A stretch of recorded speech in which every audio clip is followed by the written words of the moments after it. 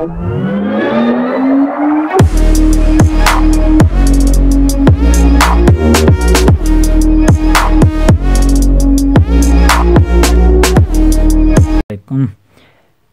friends. How are you? Today i am making a video about samsung account. If you forgot your password so how can you remove or sign out from your samsung mobile phone? Here is some tricks. So here is accounts and backups. So here are my accounts okay? So i want to reset my phone but I forgot my password for Samsung account. Here I'm going delete all and I'm adding my I forgot password so it's saying incorrect password so what we would do we'll go back and here about phone software information build number. Repeatedly you now developer mode is been has been enabled. So where is developer mode? Here is developer mode option. Open it.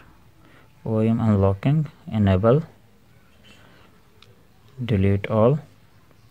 Oh shit. Again it's so here's another trick.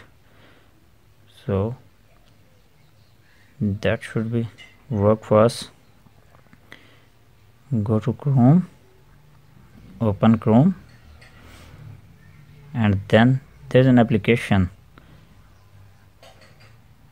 I'll tell you how to search for this application. Just Q-U-I-C-K quick shortcut maker. This is the application. You'll search for this. The first one click on that. And latest version download sorry it's an ad. Download. And now the type of file can harm your device do you want to keep quick shortcut maker? Epic anyway okay anyway do it. Download it. Now we'll installing this. When we'll install this application we can easily sign out from our Samsung account without our password. Okay? So search here. Sorry Samsung account. Here is Samsung account. Okay. So you're seeing many options but we're going to this one. Just one more step. Click on that. Click here. Now he's saying change email address recent email we'll click on change email address. And here's an option sign out. So we'll click on that. Now we'll check that we have signed out or not. Okay where is account and backups?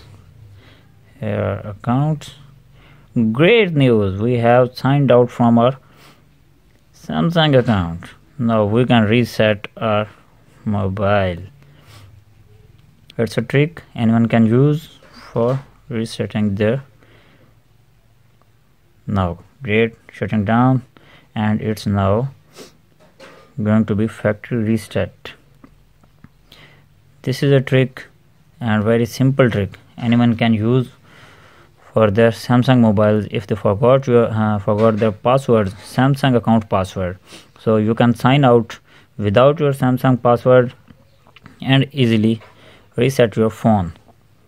So my phone is resetted yes. We have successfully done this. This trick can easily apply on any Samsung mobile for any Samsung account. Okay? Now mobile is going to be on. Okay friends